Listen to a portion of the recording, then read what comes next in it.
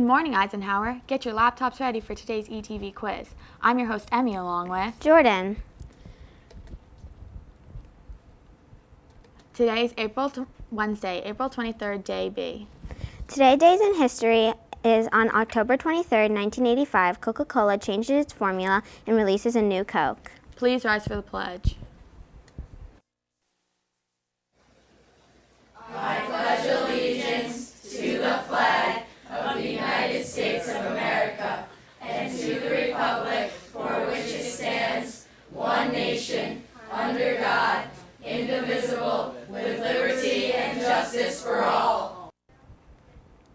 You may be seated. Today's ETV quiz question is What prison was Nelson Mandela taken to?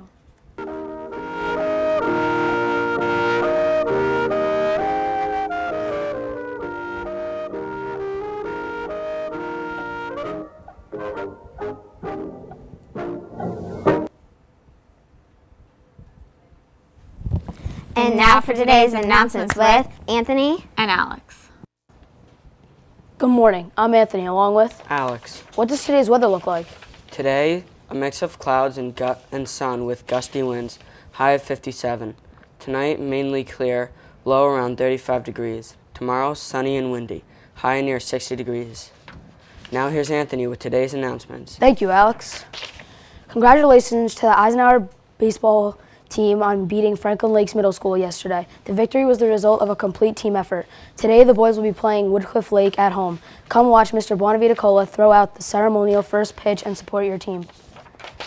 Congratulations to the girls softball team on their 18 5 win in their first game against Franklin Lakes yesterday. Andy pitched the whole game and only gave up four runs while pitching in some difficult rainy conditions. Anna got on base and scored every time she was up, including a double in the third inning.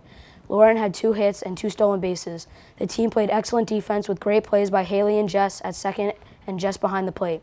The team has a game today away against Woodcliff Lake, but their next home game is next Tuesday. Come to support the team. Go Generals. The Student Council is holding its annual talent show today, Wednesday, April 23rd, from 5 to 7 p.m.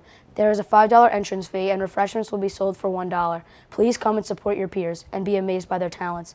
Thank you to all who are wearing blue and white. There will be a Brainbusters meeting today after school in room 517. Now here's Alex with the rest of today's announcements. Thank you, Anthony. Today is an advisory day.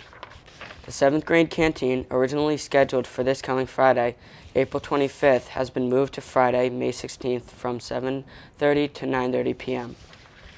Chainlink Club will not be meeting this Thursday. We will see everyone next Thursday.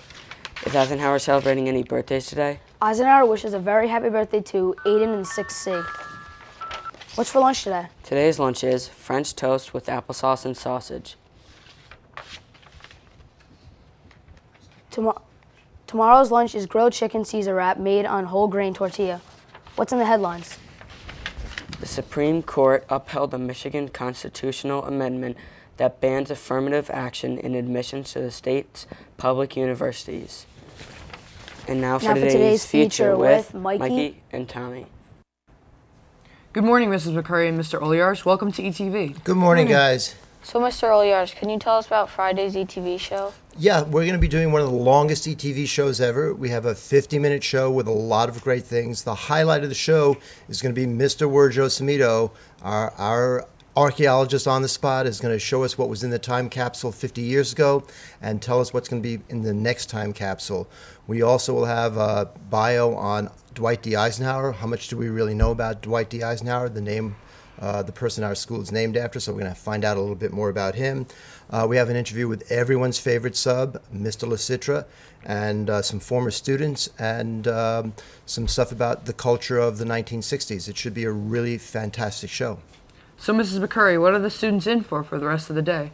Well, it's going to be a fun filled day. You're going to move after the great ETV feature. You're going to move into your advisory groups and you're going to be participating in different events. We have a scavenger hunt, we have a hula hoop challenge, and we're going to take a step back in time and play some board games that were the most popular in 1963. Can you tell us more about the scavenger hunt? Sure. The scavenger hunt is um, embracing 2014 in the use of iPads and then also using clues and information about what was happening in 1963, information about the school itself, and then just other things that were happening in history in 1963. And as you find the clues, you're going to be divided into two teams in your advisory a blue and white team. And then after both of your teams find all your clues, you're going to come back to your meeting location and try to figure out what the hidden phrase is. Mr. Oliarge, I understand we are going to watch TV shows from the 60s. Can you tell us about that? Sure. Um, I, uh, last night, actually, I was putting together a website with uh, shows from the 60s. It was very uh, nostalgic for me to go back and look at things like um, Gilligan's Island and Bonanza. Um, some of these shows uh, are really sort of part of the fabric of who we are today. And I think it'll be really interesting for students to see what was TV like 50 years ago today. Uh, 50 years ago, we didn't have all these channels.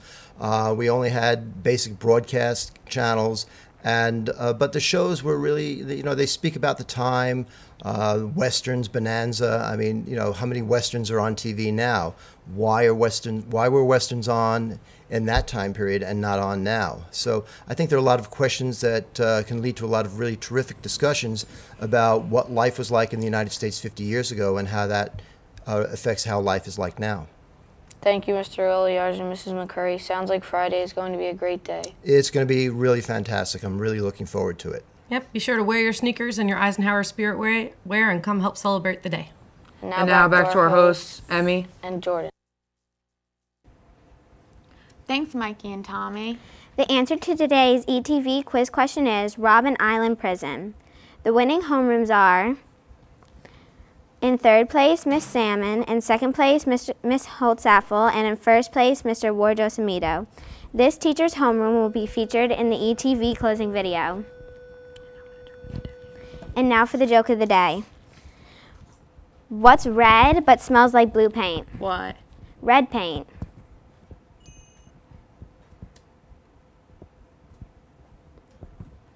Thanks for watching, Eisenhower. Have a wonderful Wacky Waffle Wednesday.